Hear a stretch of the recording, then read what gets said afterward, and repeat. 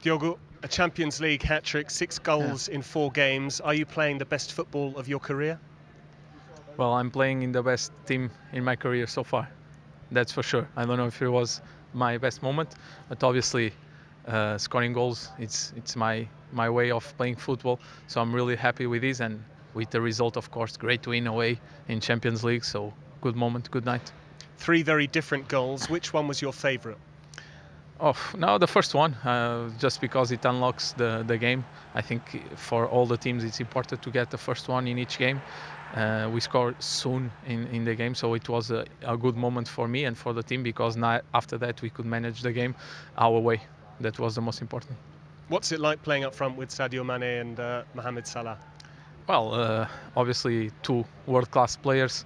Uh, all, we all know their quality. It makes easier for me to do my job because uh, they are outstanding players, and I think we did a, a, great game together today.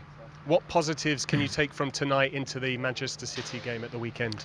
Well, I think five goals. You know, um, not you know doesn't happen so often to score five in one game, so I think that's good. The clean sheet as well. So if you can uh, do the clean sheet against City, I'm pretty sure you will win the game.